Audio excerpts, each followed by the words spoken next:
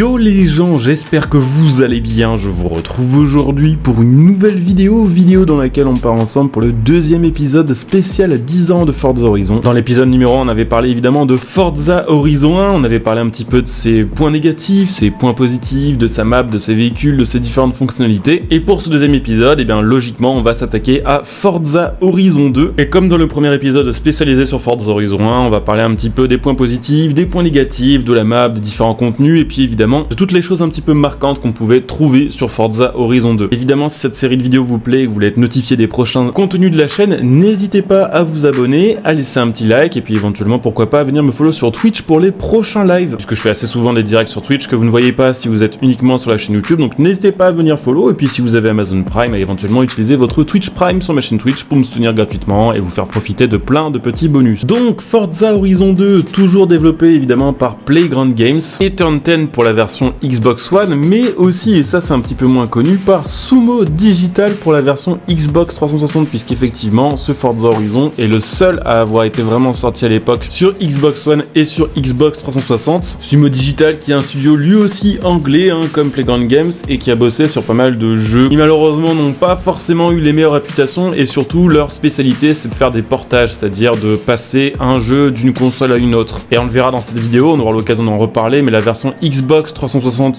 de Forza Horizon 2 est une purge. En tout cas, elle est largement, très largement en dessous de la version Xbox One, développée elle par Playground Games et Turn 10. Alors le jeu est sorti en 2014, le 30 septembre aux États-Unis, le 2 octobre en Australie et le 3 octobre en Europe. Et personnellement, à l'époque, je n'avais pas de Xbox One, je n'ai pas pu en profiter, ce qui fait que j'ai découvert Forza Horizon 2 en 2019 grâce à un abonné qui m'a prêté son compte et qui m'a permis du coup de découvrir un petit peu le jeu. Et ce qui est incroyable et ce qui saute vraiment aux yeux, là pour le coup, avec Horizon 2, c'est la prouesse graphique du jeu. En 2014, c'était vraiment incroyable, ce qui fait que même 5 ans plus tard, en 2019, quand j'ai découvert le jeu, j'avais pas du tout l'impression de jouer à un jeu ancienne génération, j'avais l'impression de jouer à un jeu tout à fait actuel. Les détails sont vraiment très beaux, les voitures sont magnifiques, les reflets et les jeux de couleurs et de lumière sont peut-être plus naturels que sur Forza Horizon 1 et rendent vraiment particulièrement bien sur la map qui est très très bien modélisée. Seule petite chose que je pourrais reprocher éventuellement à Forza Horizon 2 pour le côté technique évidemment, c'est d'avoir des maps un peu vides en termes d'activité, en termes de vie, il n'y a pas beaucoup de civils sur la route, pas beaucoup d'IA, et je suppose que c'est aussi grâce à ce genre de petits sacrifices que Forza Horizon 2 a pu sortir avec des graphismes aussi beaux sur une console sans sacrifier la fluidité. Donc évidemment, les graphismes, énorme point fort de Forza Horizon 2, et puis autre gros point fort, sa map qui nous a particulièrement plu à nous Européens, et spécialement Français, puisque une partie de la map est en France, on peut notamment rouler dans les rues de Nice, de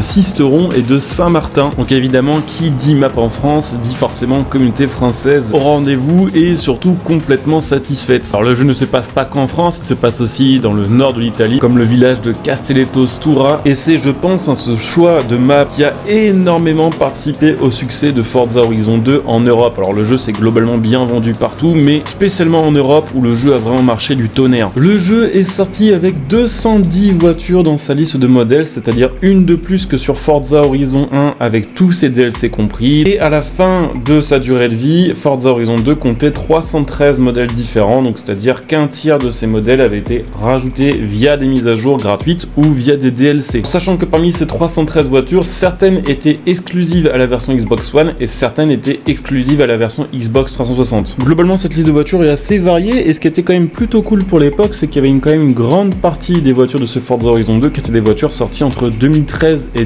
2015. Donc beaucoup de nouveautés pour le jeu, sachant que le jeu était sorti en 2014. Et si on compare proportionnellement au nombre de voitures vraiment récentes qu'on a sur Forza Horizon 5, Forza Horizon 2 est bien meilleur sur le coup. Sur Horizon 5, on a vraiment très peu de modèles au final en proportion sortis après les années 2020. Vraie nouveauté aussi par rapport à Forza Horizon 1, on peut maintenant aller partout sur la map. Il n'y a plus le système de barrière un petit peu restrictif de Forza Horizon 1 qui était incassable et qui vous empêchait d'aller voilà, sur le bas-côté de la route. Sur Forza Horizon 2, ce système est complètement enlevé et vous pouvez vous promener un petit peu partout. Et d'ailleurs, sur ce Forza Horizon 2, on a vu arriver le type de course cross-country qui était absent de Forza Horizon 1. Il me semble que sur Horizon 1, on n'avait que des courses de rallye classiques sur terre et des courses sur bitume. Avec Horizon 2, on a eu vraiment du vrai tout-terrain cross-country avec des gros 4x4, comme le Bowler qui était d'ailleurs un des starters disponibles en cross-country, comme le Nissan Juke Nismo RS qu'on avait eu d'ailleurs sur ce Forza Horizon 2 et qu'on n'a plus jamais, il me semble, récupéré sur un autre Forza après, ce qui était dommage puisque ça permettait d'avoir un truc un petit peu différent et qui était assez c'est cool à conduire. Autre gros point positif de ce Forza Horizon 2, le son des voitures qui était déjà très très bon sur Forza Horizon 1 et qui a eu encore une fois une amélioration sur Horizon 2 avec vraiment des modèles qui sonnent vraiment vraiment très très bien. par exemple la Ferrari F50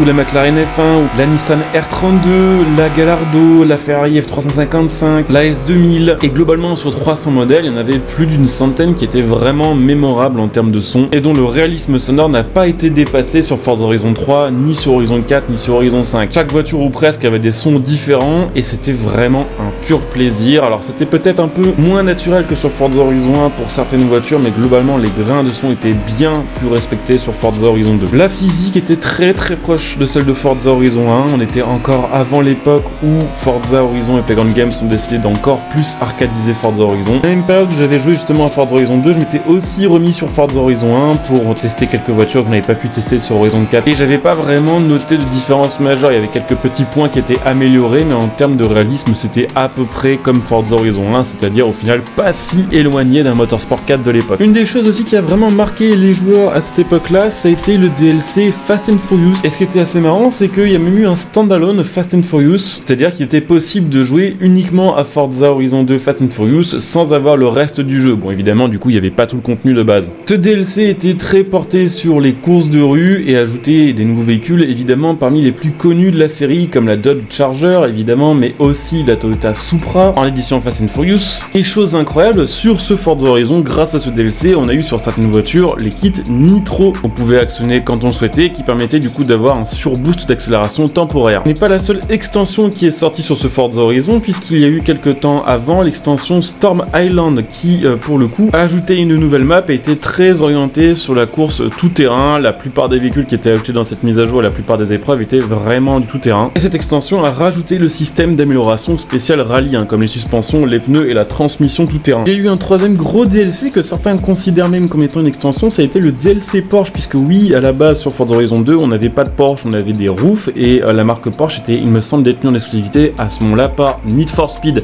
Quelques mois plus tard, les Porsche sont arrivés sur Forza Horizon 2 via ce DLC qui ajoutait donc 10 nouvelles voitures, 10 Porsche, vous l'aurez compris, dans des modèles mythiques comme la Spider, mais également la Carrera GT, mais ajoutait aussi des nouveaux défis bucket et des nouveaux événements de rivaux, donc on va dire des nouveaux contenus. Alors pas de nouvelles maps, mais quand même quelques heures de contenu et c'était très chouette. D'ailleurs, si on regarde globalement les levels de DLC des Forza Horizon précédents, je pense que Forza Horizon 2 a eu les meilleurs DLC. L'extension Fast and Furious avait plu à beaucoup de monde, Storm Island aussi et l'extension Porsche entre guillemets également. Ce qui a été moins le cas après avec Horizon 3 où certes on a eu un bon premier DLC avec Blizzard Mountain qui est excellent, mais ensuite on a eu l'extension Hot Wheels qui a un petit peu divisé la communauté. Sur Horizon 4 on a eu euh, Fortune Island qui était très chouette et ensuite on a eu Lego qui était abominable et puis sur Horizon 5 pour l'instant on a commencé avec un DLC assez clivant qui était le DLC Hot Wheels. Évidemment il y a beaucoup de positifs sur ce Forza Horizon 2 mais il y a quand même eu des points négatifs. Pour moi le point négatif principal étant que bah, le jeu est assez répétitif, la carrière se passe à peu près tout le temps de la même manière, vous avez très peu de restrictions sur les épreuves ce qui fait que vous pouvez littéralement participer à tous les championnats avec n'importe quelle voiture de votre garage et j'ai trouvé que c'était un petit peu plat, ça cumulé au fait qu'effectivement je trouve que les maps sont un petit peu vides en termes de vie, a pour moi joué un petit peu contre Forza Horizon 2 même si globalement le jeu reste incroyable et, probablement, et c'est quelque chose que je comprends,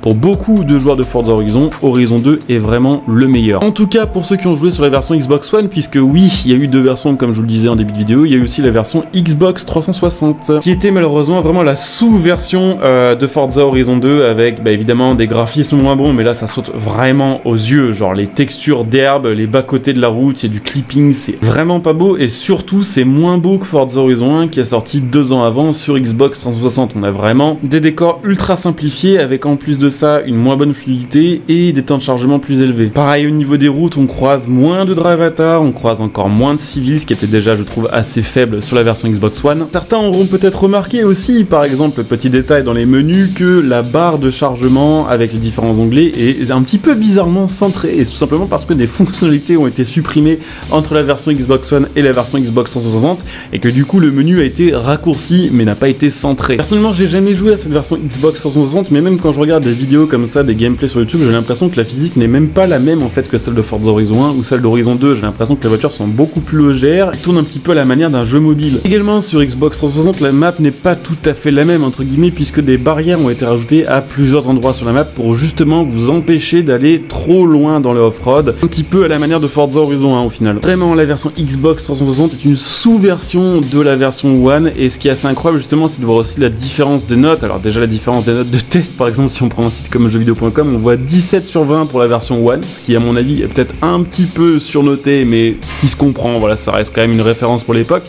Et puis on voit la version 360 qui se tape un 7 sur 20. Et si on regarde la note des joueurs, la note des joueurs sur Xbox One est quasiment à 18, euh, donc encore plus haut que la note de test, ce qui est assez rare hein, pour le souligner. Et euh, sur la version Xbox 360, les notes sont autour de 12, donc quand même 5 points d'écart entre la version One et la version 360 de la part des joueurs. Bon, pour ne pas rester sur une note négative, on va reparler un petit peu de la vraie version d'Xbox One de Forza Horizon 2, et euh, notamment d'un point positif qui a été le multijoueur. Je vous en parlais dans la vidéo concernant Forza Horizon 1. Je trouve que à l'époque, effectivement, c'était logique. L'accent était beaucoup plus mis sur le solo que sur le multijoueur, puisque bah, la plupart des gens n'avaient pas forcément envie ou les possibilités d'acheter le Xbox Live, tout le monde n'avait pas forcément le Wi-Fi chez soi et tout ce qu'elle allait avec. Et euh, sur Forza Horizon 2, ils ont quand même remis un petit peu l'accent sur le multijoueur, même si ça reste quand même un jeu qui était quand même pas mal axé solo. Il y a quand même eu des petites nouveautés, notamment le mode road trip en ligne qui était très cool sur Horizon 2 et qui permettait du coup d'enchaîner les épreuves avec en plus une espèce de euh, trajet à réaliser en multijoueur entre le départ de chaque course. Donc espèce de sprint permanent qui était très très chouette. Donc avec un petit peu de recul, c'est vrai que bah, si on compare la version Xbox 360 de Forza Horizon 2 avec Forza Horizon 1, on est en dessous sur plein de points, mais globalement sur la version Xbox One, Forza Horizon 2 est plus joli qu'Horizon 1. Il a une map plus grande qui est tout aussi joli mais qui permet en plus d'aller faire un peu plus d'off-road, ce qui est un bon point. Il y a beaucoup plus de voitures, le multijoueur est plus travaillé, les sons sont meilleurs, la physique est la même avec quelques petites améliorations, ce qui est toujours une bonne chose. Et vraiment le seul point négatif que je trouve à ce Forza Horizon 2, bah, tout simplement c'est la map un petit peu vide et le fait que la carrière est un petit peu répétitive et un petit peu ennuyante. Mais sinon Horizon 2 est un banger absolu, même si ce n'est pas mon préféré, mon préféré étant Horizon 3 et d'ailleurs on en parlera dans la prochaine vidéo. Horizon 2 pour son époque était vraiment insane et il reste hyper agréable à jouer, même 8 bah, ans plus tard, tellement la prouesse technologique était insane pour l'époque. Donc voilà, petite review de Forza Horizon 2 terminée, j'espère que cette petite vidéo vous aura plu. Alors sachez que actuellement Horizon 2 n'est plus vraiment trouvable hein, sur les stores, malheureusement Microsoft l'a enlevé, vous obligeant du coup à acheter Horizon 4 ou 5 si vous voulez jouer un Forza Horizon, mais de temps en temps, voilà, peut-être chez votre marchand de jeux local ou peut-être sur internet d'occasion, vous pouvez trouver des versions physiques ou des versions digitales de Forza Horizon 2, même d'ailleurs de Forza Horizon 1, mais ça reste très très rare, du coup le jeu cote pas mal et euh, c'est pas forcément le bon marché voilà, de trouver une clé Horizon 2. Mais de temps en temps il y en a. Il est vrai qu'en 2022 trouver Forza Horizon 2 plus ses DLC c'est très très très très compliqué. En tout cas voilà, j'espère que la petite vidéo vous aura plu. N'hésitez pas à venir me retrouver sur Twitter où on parle assez souvent news, vous pouvez m'envoyer des messages privés et puis ça soutient la chaîne. Vous pouvez évidemment aussi me soutenir gratuitement en faisant vos achats à prix réduit en utilisant mes liens de soutien sous cette vidéo. Pour acheter vos jeux, vos cartes d'abonnement, mon lien pour acheter vos configs PC, et puis pour ceux qui le souhaitent évidemment, vous pouvez aussi devenir des soutiens de la chaîne via le bouton rejoindre cette vidéo, ce qui vous fera profiter évidemment de plein de petits bonus. Je coupe ici, je vous dis à très bientôt, bon jeu à tous, ciao